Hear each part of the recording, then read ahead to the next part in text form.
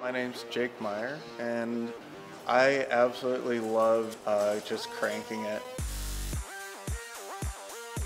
Going up hills, down hills. I just, I like the uh, feeling of working really hard on a bike. It's uh, really rewarding to me. Uh, my name is Andrew Austin. I think group riding should be dynamic. If we work together, we can have the fast guys going fast, and we can have the newer guys who are still getting the riding, still riding. There's the element of, we call it drafting.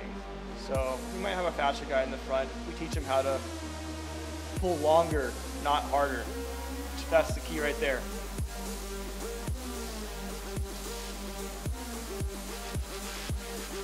So like you can use cycling to get into shape and there's always races if you have that competitive spirit in yourself to go race against a bunch of other people. And it just feels great to be fast, it feels great to be fit. It feels good to know that the effort I'm putting in has a direct correlation with what's going on on the bike or like how fast I'm going.